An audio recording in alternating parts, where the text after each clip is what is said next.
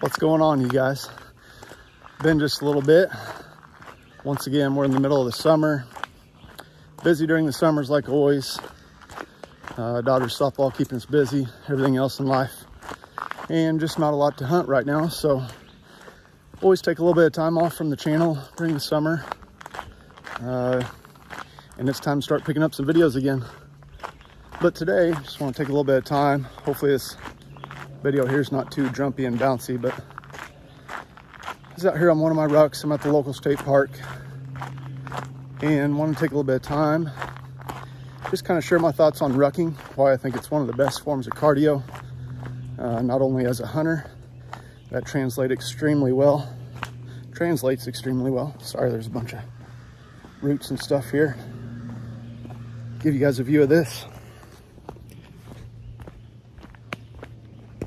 But rucking not only translates to hunting extremely well, but it's just overall really great workout for the body, even if you're not a hunter. So I'm getting ready to go back out to Colorado again to elk hunt in uh, kind of mid to late September. Been doing a ton of rucking, do quite a bit of rucking anyway, even if I'm not prepping for Colorado. But did a lot of it when I was in the military and then um, continue to be a big fan of it. Anymore, I just can't run like I used to. I mean, I can, but I kind of got to push through it after three knee, three knee surgeries now. But it's just so much easier on the joints, on the body. You always got one foot on the ground at a time, whereas running, there's lots of times whenever both feet are off the ground, a lot more impact on your knees, your hips, your lower back uh, rucking, you know, climbing up this hill here. Rucking really strengthens your shoulders, posterior chain, quads, ankles. Uh, just puts you in a lot better mood too because you're outside. Sure beats being on a treadmill. Whew. That was a tough hill there. Also, rucking is a form of uh, strength training while you're doing cardio as well and that's just a great combination all around. Uh, you burn up to three to four times more calories than you would if you're just walking. It's very similar to jogging or running. And there's a lot of variables that go into that too, you know. Right here, I'm just talking about starting out with 10 to 20% of your body weight. It's what you want to do in your pack to kind of get started. You know, don't go all out. Don't throw 50 pounds in your pack and go try to do five, 10 miles you know, start out with 20, maybe 25 pounds, whatever it is. Get used to it. Get a good feel of it being on your shoulders, using a hip belt if you got a good pack. Just get out and enjoy scenery. Get some good cardio in, good exercise, makes you sleep better, strengthens all kinds of different muscles. You don't need much to get started.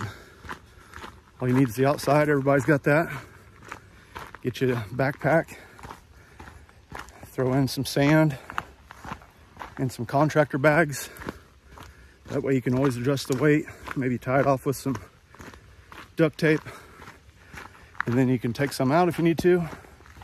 Or once you get stronger and you get better, simply pour more sand in and do it again. Neat little walking bridge here. This place floods quite a bit.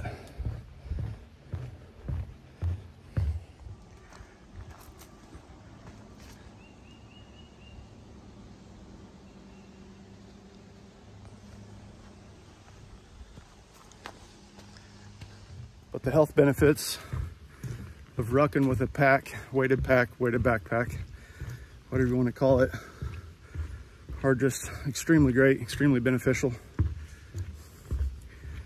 And it sure beats being on a treadmill for hours at a time. Not really hours, I never spend an hour on a treadmill. uh, but I mix this in with some good strength training. Got a decent little setup going in my basement as far as weights go. And we're just trying to get better every day. And just figured I'd kind of throw this out there let you guys know what I've been doing, what I've been up to.